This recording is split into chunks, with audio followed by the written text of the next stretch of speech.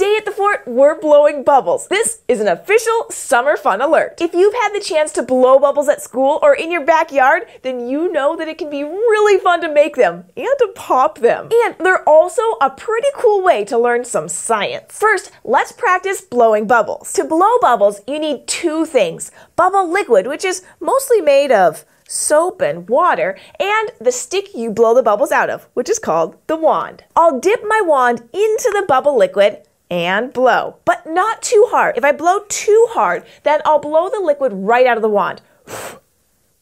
So I need to blow a steady stream of air through the bubble liquid, nice and slow and I get a bunch of bubbles. Bubbles are just a really thin layer of soap and water around a pocket of air. If we could cut a bubble in half and look at it really closely, we would see that the bubble is actually made up of layers. There's a layer of water between two layers of soap. It kind of looks like a sandwich. The soap layers are like the bread of a sandwich, and the water is like the sandwich filling. The layers of the bubble surround the air inside the bubble and keep it inside. Water without soap doesn't make bubbles very well because water likes to stick together. Water's made up of lots of little tiny pieces or particles, so small that you can't even see them, but they're there. These particles are attracted to each other, meaning that they're pulling towards each other like magnets, so they stick together. For example, check out this insect. It can walk on top of this pond because the particles that make up the water in the pond are all attracted to each other.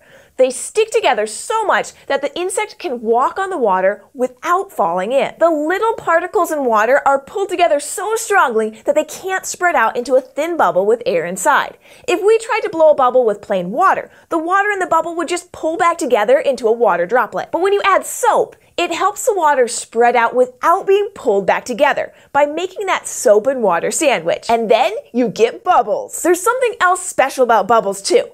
Bubbles can be lots of different sizes, from super tiny to gigantic. But have you noticed that they're all the same shape? That's right, they're round, just like the wand we used to blow the bubbles. But what would happen if we used a wand that was a different shape, like this one? That's right, it's shaped like a diamond. So what do you think will happen when I blow bubbles from this diamond-shaped wand? Squeaks thinks that they'll be diamond shaped. Let's try it and see what happens. When I dip the wand into the bubble liquid and blow, the bubbles are still round, even though the wand that I blew the bubbles from wasn't round. It's round because of that water layer, the filling of the bubble sandwich. Even though the soap helps the water spread out into a bubble by making the particles in the water less attracted to each other, they're still a little bit attracted to each other. And when the water particles pull on each other around the air inside, they give the bubble its round shape. So even if our wand has corners, the attraction in the particles that make up water pull those corners out and give us a nice round bubble every time.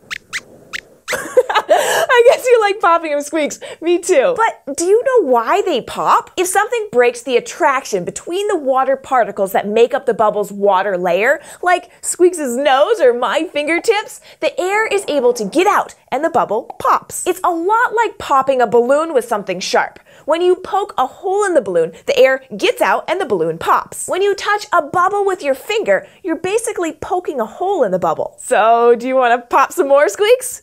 Okay, let's head outside and blow some more bubbles. Thanks for joining us. If you want to keep learning and having fun with Squeaks and me, hit the subscribe button and we'll see you next time here at the fort.